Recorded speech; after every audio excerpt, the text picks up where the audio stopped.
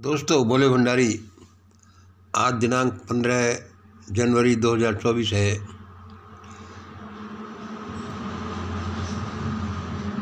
इस समय सुबह के कोई तीन बजकर तैंतालीस मिनट हुए हैं।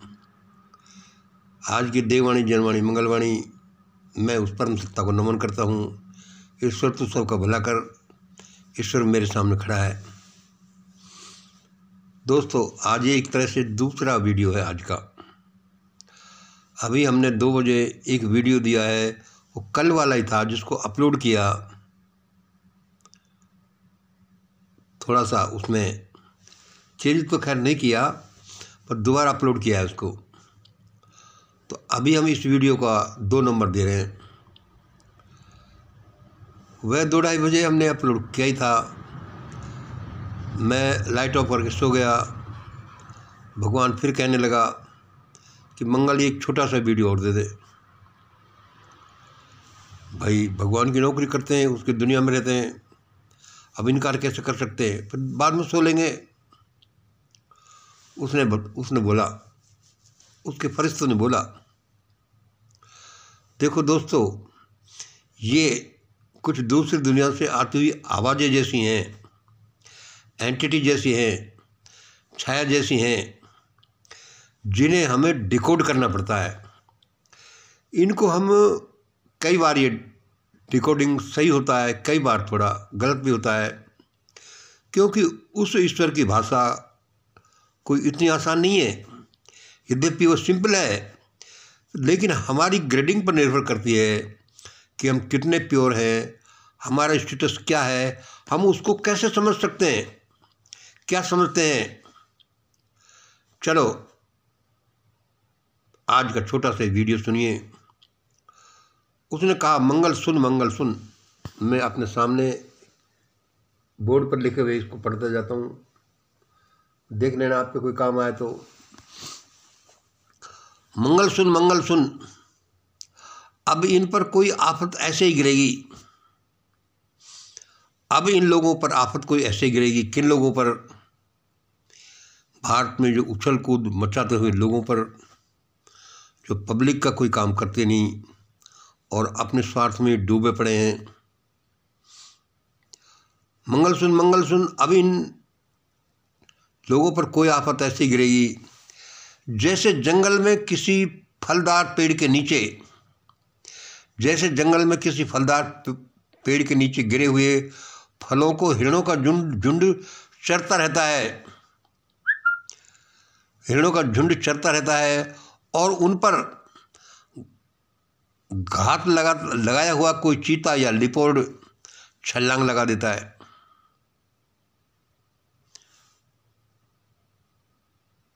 उनको पता भी नहीं होता, वे अपना फल खाने में मग्न होते हैं, लेकिन ऊपर बैठा हुआ कोई घात लगाता हुआ चीता या लेपोर्ड उन पर छलांग लगा देता है कभी कभी ये हम दृश्य, animal planet channel discovery channel इत्यादि पर देखते हैं। दूसरी वाइल्ड इंफॉर्मेशन में देखते रहते हैं। और उन हिरणों के झुंड में भगदड़ मच जाती है।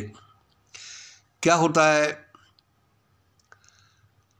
कभी उनमें से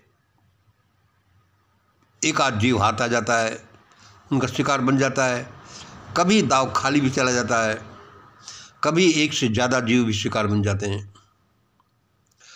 अब कोई न कोई आफत इन भारत के इन प्लेयर्स पर, इनको जो भी आप अपने विचार से कह लो कोई इनको मसीह कहता है, कोई लुटेरा कहता है, कोई कर्म करने वाला खुद कहता है, कोई कुछ कहता है, इन पर आफत अब ऐसे ही पड़ेगी।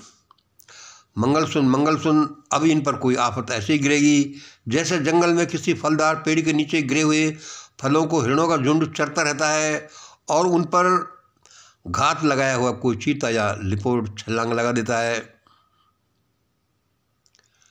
किन पर? देखिए, कुछ मैंने नाम या कोडवर्ड में लिखे कुछ सीधे सीधे लिख दिए भाई, जिनको मेरी इससे दिक्कत हो, मैं सॉरी हूँ। लेकिन हमने अपने विचार से उनके लिए अच्छा अच्छा लिखा है। क्योंकि ये उनके लिए एक चेतावनी है, सलाह है। एक वार्निंग है, एक एडवांस इन्फॉर्मेशन है कि भाई, ऐसा हो सकता है।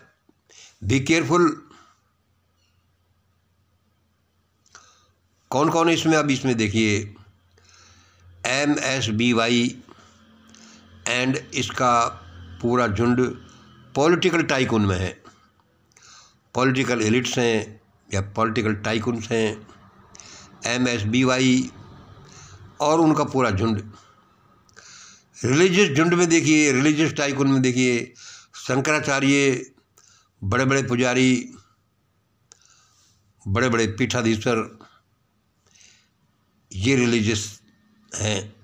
फाइनेंशियल टाइक में देखिए, अडानी अंबानी तो हैं ही, टाटा बिरला डालमिया, पुराने नाम हम सुनते रहते हैं, अब नए नए नाम और बहुत हो गए हैं, जैसे माल्या, जैसे नीरव, जैसे सब भगोड़े, हराम का माल लेकर भागे हुए, भगाए हुए और विदेशों में मौज करते हुए।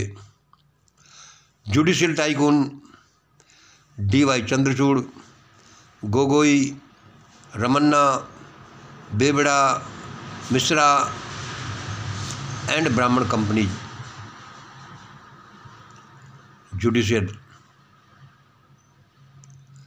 अदर्स अदर्स जैसे कोई जग्गू बताया है, जैसे एक लाख आठ श्री कोई है, कोई कुलश्रेष्ठ है, कोई अमिताभ है, बहुत से एक्टर्स हैं, क्रिकेटर्स हैं और बहुत से अन्य लुटेरे।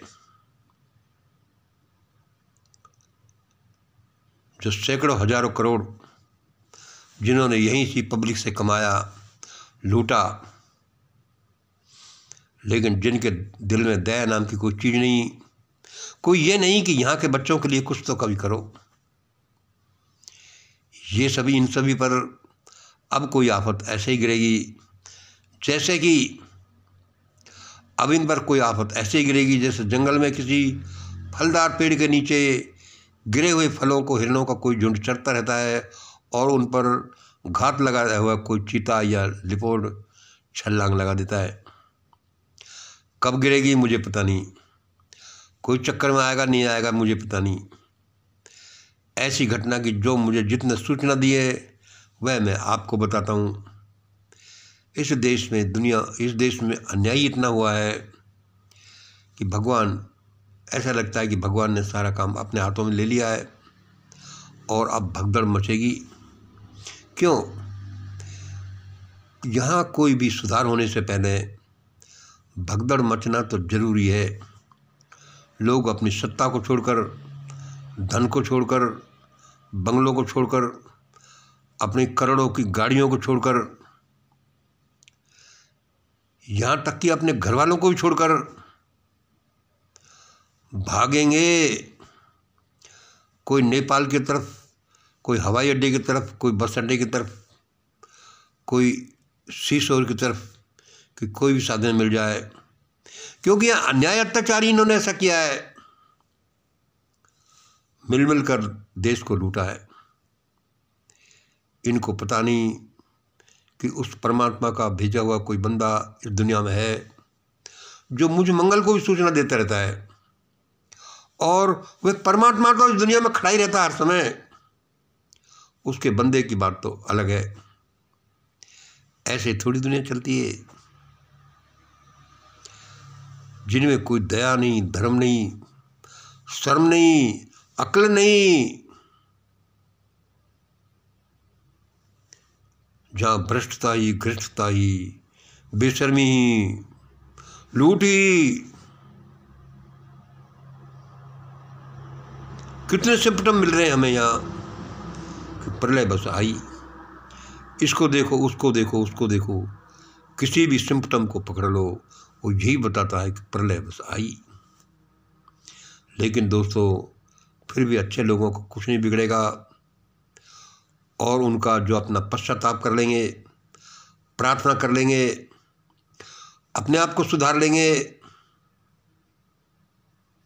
या जो ओरिजिनल तो है नहीं भटक गए हैं।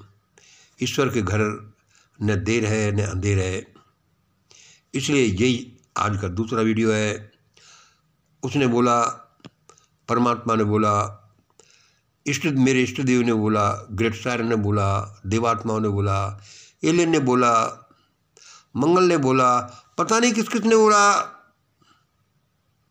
जो मुझे आवाज़ सुनती हैं, जो छाया से दिखाई देती हैं जिन एंटिटी से हमारा परिचय होता है, कि मंगल सुन मंगल सुन, अब इन लोगों पर कोई आफत ऐसे ही गिरेगी जैसे जंगल में किसी फलदार पेड़ के नीचे गिरे हुए फलों को हिरणों का झुंड चरता रहता है और उन पर घात लगा हुआ कोई चीता या लिपोड़ छलांग लगा देता है। ऐसे पहले ये होगा। फिर इनके कान खड़े होंगे। आगे आगे बहुत सा होता जाएगा। जो वो बताता जाएगा, हम आपको बताते रहेंगे। भाई, हम तो अपना काम कर रहे हैं। आपका दोस्त ये मंगल अलवर राजस्थान से आपकी सेवा में, उस भगवान की सेवा में जन जन की सेवा में, क्योंकि इन सब की सेवा ही हमारे जीवन को चलाती है। बहुत बहुत धन्यवाद। आज इतना ही। जय हिंद, जय भारत।